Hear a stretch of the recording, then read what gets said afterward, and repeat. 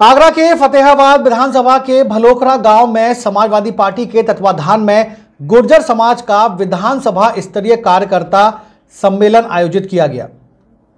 कार्यक्रम में प्रधान बीडीसी और वरिष्ठ नेताओं ने भारतीय जनता पार्टी को छोड़कर समाजवादी पार्टी की सदस्यता ग्रहण की।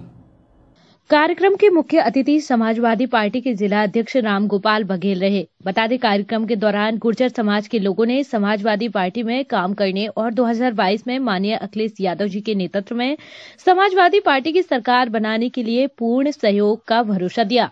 बता दें, आयोजित सम्मेलन में पूरे विधानसभा से आए हज़ारों कार्यकर्ताओं ने शिरकत की। वहीं मुख्य अतिथि के तौर पर मौजूद जिला अध्यक्ष रामगोपाल बघेल ने सम्मेलन को संबोधित करते हुए कहा कि जिस तरह से केंद्र की सात वर्ष की सरकार और प्रदेश की चार वर्ष की सरकार ने गुर्जर समाज पर अत्याचार किया है, शोषण किया है, उसके विरोध में गुर्जर समाज सिर्फ़ और सिर्फ़ आदरणीय अखिलेश यादव जी को उम्मीदवार के तौर पर देख रहा है।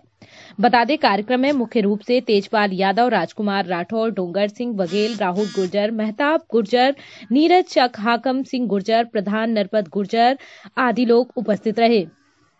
भाई रामगोपाल बघेल जी, आज इस कार्यक्रम के मुख्य अतिथि हैं।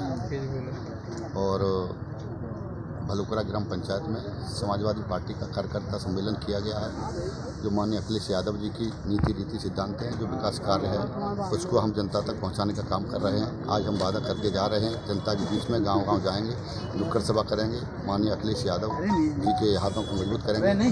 2022 में निश्चित ही हम समाजवादी पार्टी की सरकार बनाने का काम करेंगे।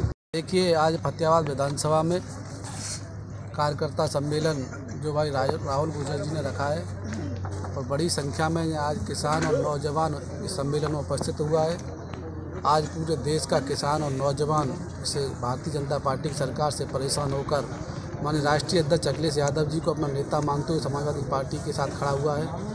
आज आज का प्रोग्राम, आज का कार्यक्रम गुजर घर में समाजवादी पार्टी का एक कार्यकर्ता सम्मेलन है, जिसमें सारी समाज के सर्व समाज के सारे लोग उपस्थित हैं। आज हम सब लोग भाजपा सरकार का जो भी कार्यक्रम चल रहा है, जो किसान विरोधी है, जन विरोधी है, महिला विरोधी है, उसके बारे में जनता को जागरूक कर रहे हैं। आगरा से दुष्यंत उपाध्याय की रिपोर्ट।